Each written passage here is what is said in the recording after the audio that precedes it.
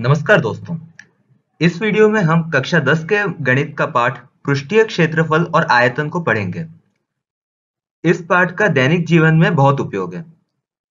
अब जैसे मान लीजिए कि आपको लड्डू बनाने हैं। तो लड्डू के आयतन से आपको पता लगेगा कि आपको कितना आटा या बेसन चाहिए। अगर आपको गेंद या टेंट बनाना है तो इन दोनों ही घटनाओं में आपको उसके पृष्ठीय क्षेत्रफल से पता लगेगा कि आपको कितना कपड़ा चाहिए। ऐसे ही कई उदाहरण हैं। हर उदाहरण में आपको ये पता लगेगा कि किसी भी सामान को बनाने के लिए आपको कितनी सामग्री चाहिए। ये या तो पृष्ठीय क्षेत्रफल बताएगा या आयतन बताएगा। चलिए आगे बढ़ते हैं और देखते हैं कि कैसे पृष्ठीय क्षेत्रफल और आयतन अलग अलग प्रकार के ठोसों के लिए निकाला जाता है। पिछले पृष्ठ में जो मैंने उदाहरण दिए, उसके कुछ तस्वीरें आप इस पृष्ठ में देख सकते हैं।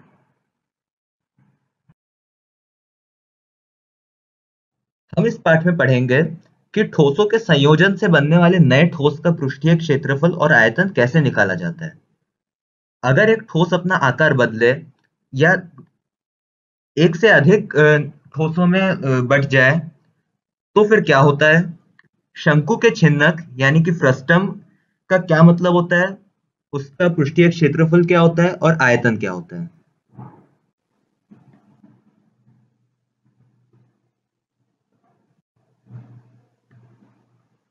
कक्षा नौ में अपने घनाभ, शंकु, बेलन और गोले के पृष्ठीय क्षेत्रफल और आयतन के बारे में पढ़ा हुआ है। लेकिन आप भी जानते हैं कि दैनिक जीवन में सभी वस्तुएँ इन चारों प्रकार की नहीं होती हैं।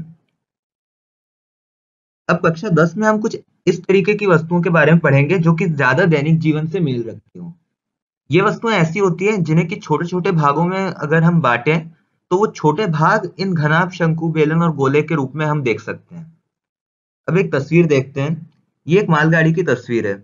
इसमें तेल का टैंकर आप देख सकते हैं। अब इसे ध्यान से देखिए।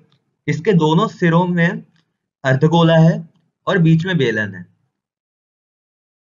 तो इस पाठ में हम इसी तरीके के कुछ ठोसों के बारे में पढ़ेंगे।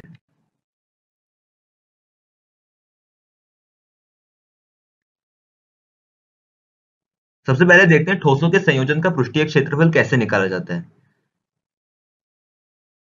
अब इस तस्वीर को देखिए। ये वही तेल का टैंकर है।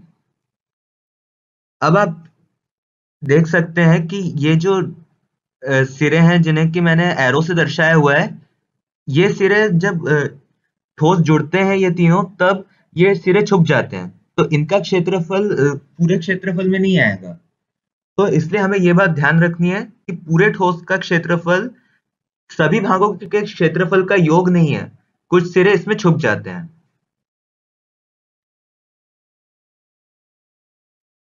अब इन तीनों में ठोसों के जो वक्र पृष्ठ है, वही हमें दिखाई दे रहे हैं। अतः संयोजित ठोस का पृष्ठीय क्षेत्रफल तीनों भागों के वक्र पृष्ठीय क्षेत्रफल के बराबर होगा। तो हमें कक्षा नौ से पता है कि अर्धगोले का वक्र पृष्ठ क्षेत्रफल टू पाई आर स्क्वायर होता है। तो दो बार हमने इसे जोड़ा हुआ है।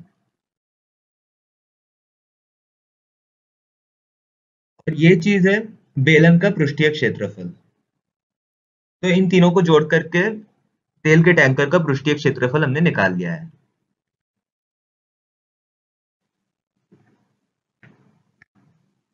चलिए एक और उदाहरण देखते हैं। अब मैंने यहाँ पर एक पेंसिल का उदाहरण लिया हुआ है। देखते हैं कि पेंसिल का पृष्ठीय क्षेत्रफल कितना होता है।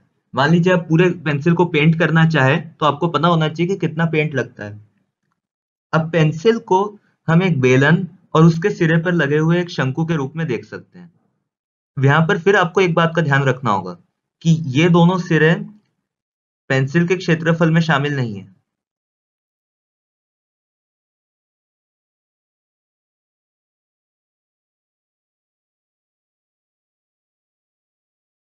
पेंसिल का पूर्ण क्षेत्रफल बेलन के वक्र क्षेत्रफल, शंकु के वक्र क्षेत्रफल और बेलन के एक सिरे का क्षेत्रफल को मिलाकर बनेगा। तो ये हो गया बेलन के एक सिरे का क्षेत्रफल पायर स्क्वायर ये हो गया शंकु का वक्र क्षेत्रफल। ये हो गया बेलन का वक्र पृष्ठीय क्षेत्रफल। इन तीनों के योग से पेंसिल का क्षेत्रफल हमें पता लगेगा।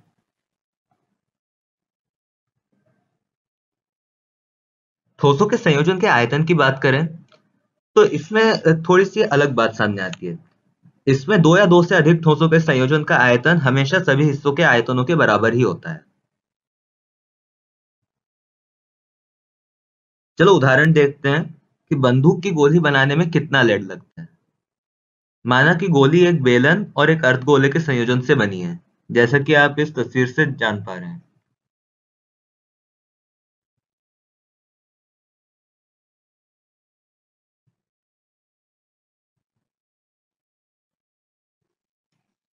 तो दोनों हिस्सों का हम आयतन पहले निकालेंगे और उनका योग करेंगे।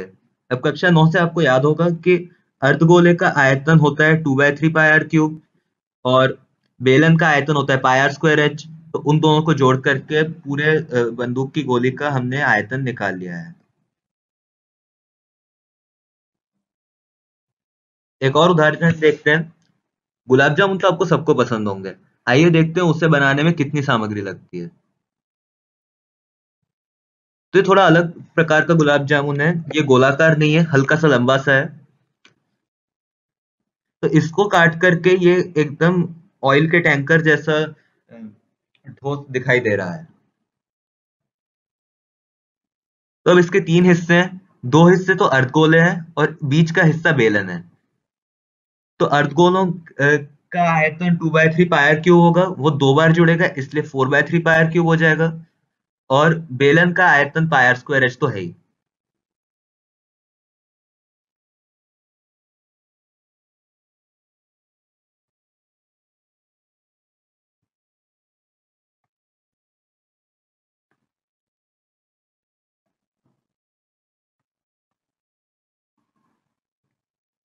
अब आगे बढ़ते हैं, देखते हैं कि अगर एक ठोस अपना आकार बदलता है तो क्या होता है।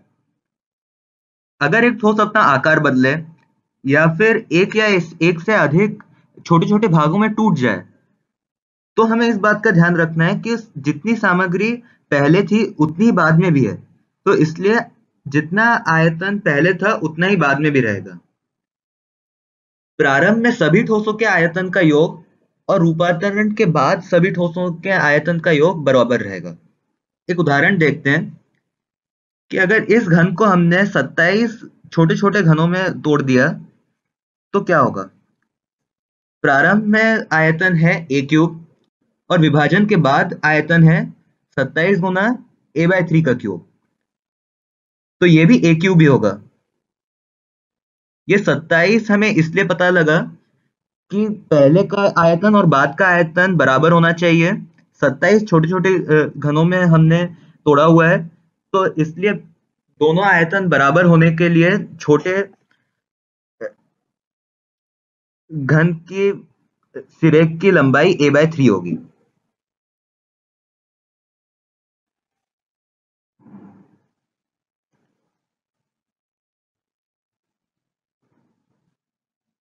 हमने कई तरीके के ठोसों के बारे में पढ़ा, लेकिन आप रोज एक चीज़ का इस्तेमाल करते हैं, वो है आपकी बाल्टी।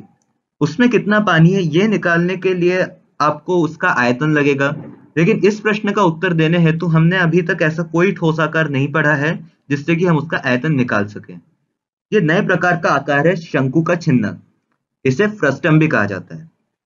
यह आकार शंकु को उसके आधार के समांतर एक तल द्वारा काटकर छोटे शंकु को हटाकर मिलता है। आइए देखते हैं कैसे ये होता है।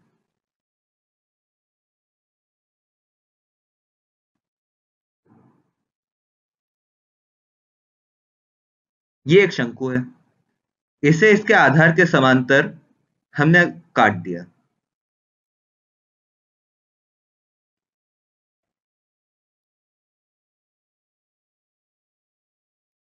और अगर ये बचा हुआ हिस्सा अगर हमने हटा दिया तो बाल्टी के रूप का ही कोई आकार बनेगा।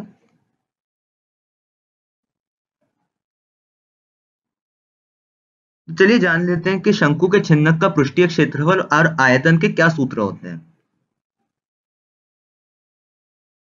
आयतन होता है one by three pi h r one square plus r two square plus r one r two. वक्र पृष्ठीय क्षेत्रफल होता है pi r one plus r two l.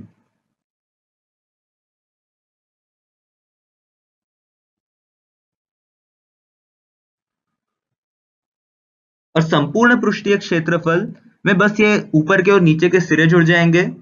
जिनका की क्षेत्रफल निकालना तो हमें आता ही है pi r one square plus pi r two square ये जुड़ जाएगा।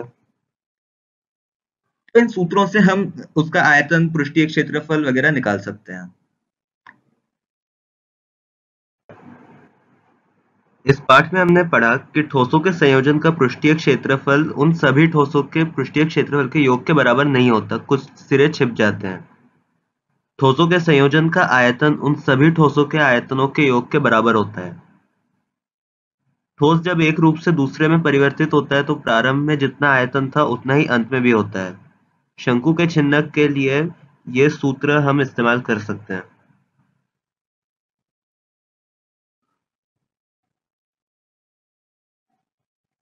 धन्यवाद दोस्तों। मुझे पूरी उम्मीद है कि यह आपको पाठ बहुत अच्छे से समझ में आया होगा। इसी तरीके से आप O L I N S S I T Bombay की मदद से बाकी के भी पाठ पढ़ें और अच्छे से पढ़ाई करते रहें। धन्यवाद।